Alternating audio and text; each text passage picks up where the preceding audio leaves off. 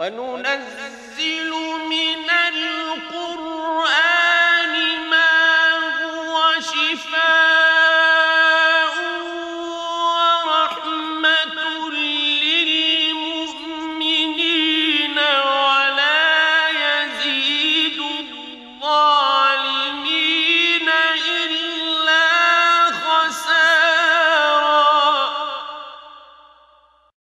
بسم الله الرحمن الرحيم الحمد لله رب العالمين بارئ الخلائق أجمعين باعث الأنبياء والمرسلين ثم الصلاة والسلام على سيدنا ونبينا وحبيب قلوبنا أبي القاسم المصطفى محمد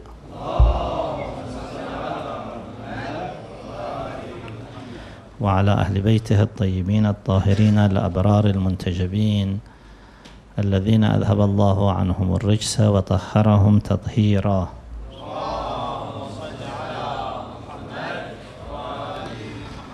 واللعنة الدائمة الأبدية على أعدائهم إلى يوم الدين ولا حول ولا قوة إلا بالله العلي العظيم. وحسبنا الله ونعم الوكيل. يقول الإمام الصادق عليه صلوات المصلين خير العمل بر فاطمة وولدها. خير العمل ما هو خير الأعمال؟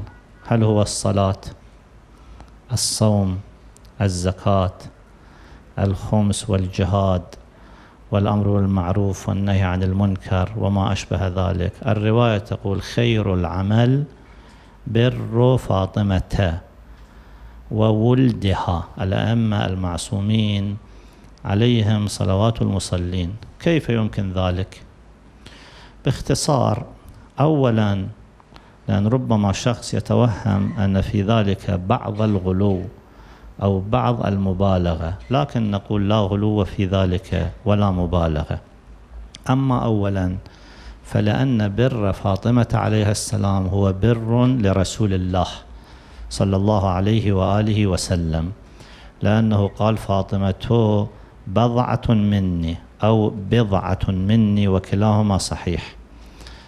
إلى آخر الرواية يغضبني ما يغضبها ويحزنني ما يحزنها أو يسوءني ما يسوءها. وفي رواية أخرى فاطمة شجنة مني. وهذه الروايات موجودة عند السنة كما هي موجودة عند أتباع أهل البيت من الشيعة.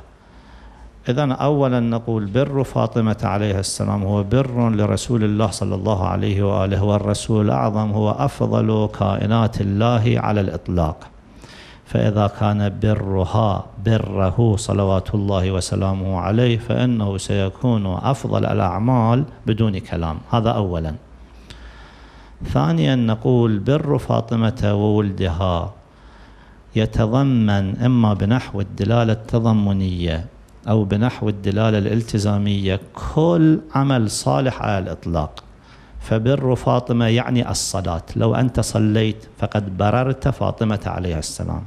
لو زكيت وخمست وحججت واعتمرت وجاهدت في سبيل الله وأمرت بالمعروف ونهيت عن المنكر فإن هذه وأشباهها ونظائرها وما أكثرها. هذه كلها مندرجة تحت إطار وفي مدار وفي دائرة بر فاطمة صلوات الله وسلامه عليها.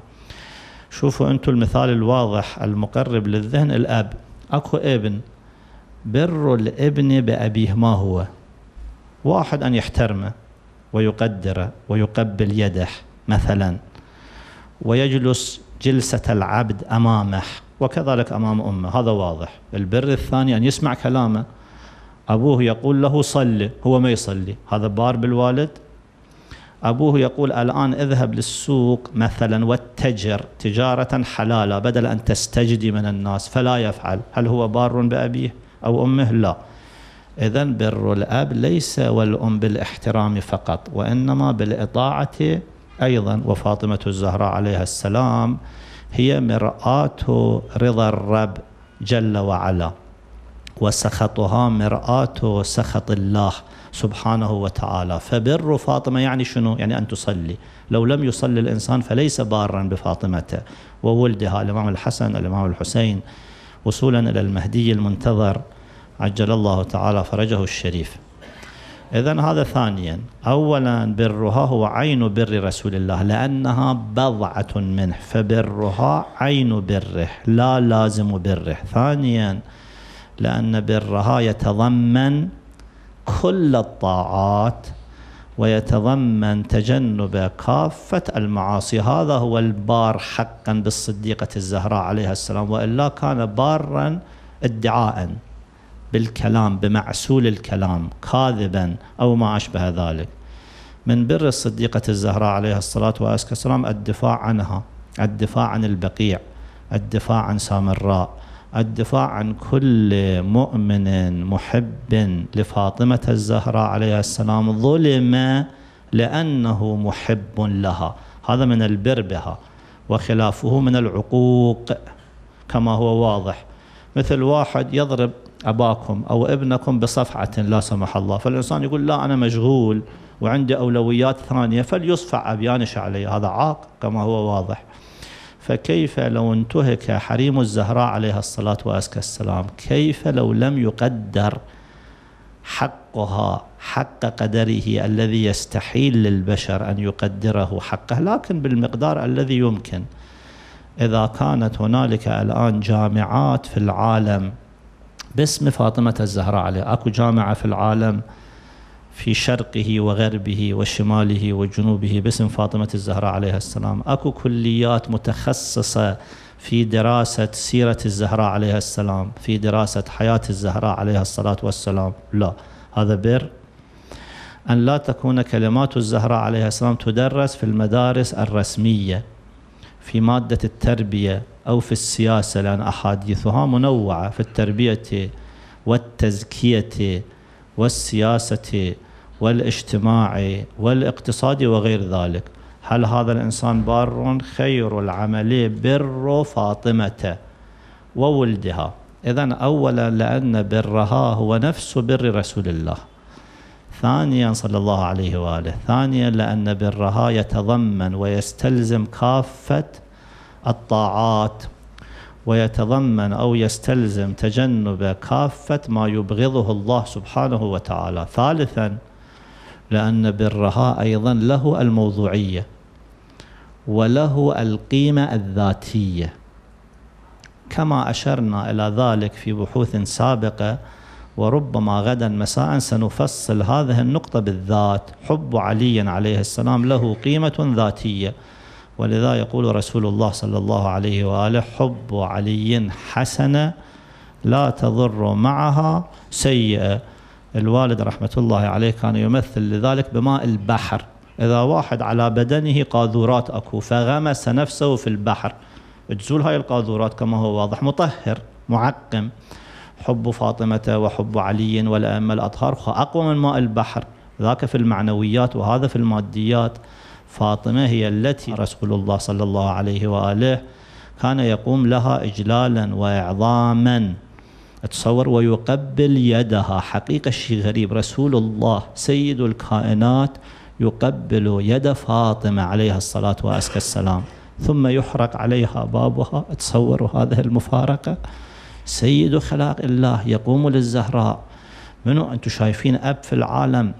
له مكانة ومنزلة يقوم لابنته كلما دخلت عليه ويقبل يدها. ثم نفس الأتباع اللي يسمون أنفسهم بالصحابة يهجمون على دارها فيحرقون الباب. مما ذكره علماء السنة والشيعة أيضا الهجوم أصل الهجوم لا شك فيه ولا ريب فيه. لكن بعض التفاصيل قد يكون فيها اختلاف. اذا ثالثا والحديث طويل هذه إشارة مقدار ربع ساعة اللي يقتضي المقام حاليا. وربما نكمل بعضه غدا أو في أيام أخرى إذا شاء الله. حب فاطمة وبر فاطمة له قيمة ذاتية. هذا مثال من ضيق التعبير. مثلنا مثل المعقم. شلون المعقم عندما البدن يصاب بجرح فتهجم عليه الجراثيم والفيروسات والميكروبات. مطهر أكو معقم الذنوب أيضا يطهرها ماذا؟ الاستغفار من جهة. فقلت استغفروا ربكم إنه كان غفارا. يرسل السماء عليكم مدرارا ويمددكم بأموال وبنين ويجعل لكم جنات ويجعل لكم أنهارا. فالاستغفار مطهر. شلون واحد مذنب عشرين سنة يقول أستغفر الله بس عن ندم حقيقي؟ يطهر ذلك؟ نعم. شنو الإشكال في ذلك؟ كما أن الاستغفار لا إشكال فيه في أنه مطهر ومزك ومعقم ويرفع درجة الإنسان. كذلك حب الزهراء عليها السلام بر الزهراء عليها الصلاة وأزكى السلام. من برها والحديث طويل أن الإنسان على الأقل هذا اقتراح محدد يضع في باله على أقل تقدير يوميا خمس دقائق فقط. تصوروا إذا كل مسلم لأن حب الزهراء وبر الزهراء عليها السلام مسؤولية كل مسلم كما هو واضح. نقلنا سابقا رواية البخاري حيث يقول فاطمة سيدة نساء أهل الجنة. فلا يشك مسلم شيعيا كان أم سنيا في مقام الزهراء عليها الصلاة وأزكى السلام. فيجب على كل مسلم على أقل تقدير نقول هذا أضعف الإيمان من البر. أن يتذكر الصديقة الكبرى عليها السلام وظلاماتها ولو باليوم خمس دقائق. الذي ينبغي أن الإنسان طبيبا كان أم مهندسا أم عالما أم متعلما في أي موقع كان أم مزارعة أم فلاحة أم بقالة أم تاجرة عليه أنه ليل نهار أن يخصص من وقته كله يعني في كل أوقاته يكون ذاكرا لله سبحانه وتعالى وذاكرا لمن رضاها مرآة رضاه وغضبها مرآة غضبه. هذا هو الشيء المطلوب حقيقة. لكن الناس كثير منهم من أمثال هذا العبد الفقير ضعاف في هذه الجهة. على الأقل خمس دقائق بعد صلاة الصبح أو الظهر أو العصر أو المغرب أو العشاء أو في قلب الليل البهيم. الإنسان يخصص خمس دقائق فقط. يقول اليوم ما الذي صنعته لرسول الله صلى الله عليه وآله في الدفاع عن دينه وتعاليمه وقيمه؟ ما الذي صنعته لبضعته الطاهرة؟ ما الذي صنعته للإمام الحسن للإمام الحسين للإمام السجاد للإمام الباقر للإمام الصادق؟ وصولا للمهدي المنتظر عجل الله تعالى فرجه الشريف.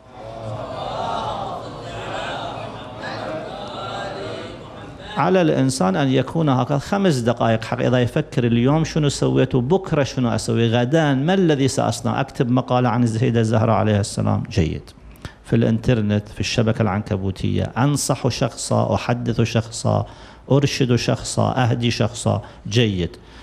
أفكر بتفكير من نمط آخر. أكتب سيناريو أو أصنع فيلم أو أساهم في صناعته جيد وهكذا وهلم جرا والحديث طويل لكن في هذا المختصر هذا المقدار يكفي. ونختم حديثنا بقصة قصيرة عن أحد علمائنا الأبرار الأولياء الصالحين العاملين وهو المرحوم آية الله السيد أحمد الإمام رضوان الله تعالى عليه. هذا السيد من كبار علماء إصفهان وإيران وله من المؤلفات حوالي 200 كتاب طبع بعضها. وكان رجلا هميما أسس الكثير من المؤسسات وربى الكثير من الأخيار من رجال الدين ومن التجار ومن الشباب المثقف. هذا الرجل كان محبا للصديقة الكبرى بل عاشقا لها بشكل غريب. وكانت له مقامات وقصصه يطول ذكرها. ويكفيكم أنه عندما توفي قبل الصلاة في المكتبة عند مكتبة باسم الزهراء عليها السلام واحد يأسس مؤسسات باسم الصديقة الزهراء عليها السلام. كانت عند مكتبة باسم الزهراء عليها السلام توضأ لكي يأتي يصلي وهناك لوحة في الطريق مكتوب في تلك اللوحة إحدى الكلمات التي تتعلق بالصديقة الزهراء عليها السلام. وصل عند تلك اللوحة وسقط وفاضت روحه إلى باري. يعني حتى آخر لحظة انتخبه الله إليه متوضئا في طريق الصلاة عند وتحت راية الصديقة الكبرى فاطمة الزهراء عليها السلام. هذا الرجل له كرامات كثيرة. أحد المؤمنين رآه في المنام سأله مولانا هذا المقام العجيب كرامات كثيرة. يعني كثير من الحوائج يقضيها. أنتم أنا مجرب وتوسلوا بروحه وانذروا نذر بأنه مثلا تبعثوا له ألف صلوات ولشيعة أمير المؤمنين عليه السلام. كثير من الحوائج ستقضى عندئذ بدون كلام. فهذا الرجل شوهد في المنام؟ سأله أحد الصالحين أنه كيف وصلت إلى هذا المقام اللي لك كرامات في حياتك مثلا وبعد مماتك؟ فقال السر في ذلك مذكور في دفتر في كتيب. لفلان كاسب في السوق أنا كتبت الجواب على هذا السؤال بخط يدي في ذاك الكتاب في ذاك الدفتر. الرؤيا صادقة لأن شاهد صدقها معها فما أجاب حوله على الواقع. الرجل استيقظ ذهب إلى ذاك التاجر تاجر من الأخيار. يقول بأنه قلت له هل السيد الإمامي قبل فترة زارك وكتب في دفترك يعني دفتر التجارة سجل الوارد والصادر وما أشبه ذاك هل كتب شيئا؟ قال نعم. بس ما أتذكر شنو بالضبط. راح جاب الدفتر وإذا به مكتوب ما ترجمته يقول لو أخذوا شريط قلبي يوما ما. شوفون أنتم عندما واحد يروح إلى المطبات وعنده عارض قلبي يأخذون شريط يبين أنه كيف حركة القلب وتقلباته. لو أخذوا وصوروا شريط قلبي يوما لوجدوا واكتشفوا أن ضربات قلبي تقول يا زهراء.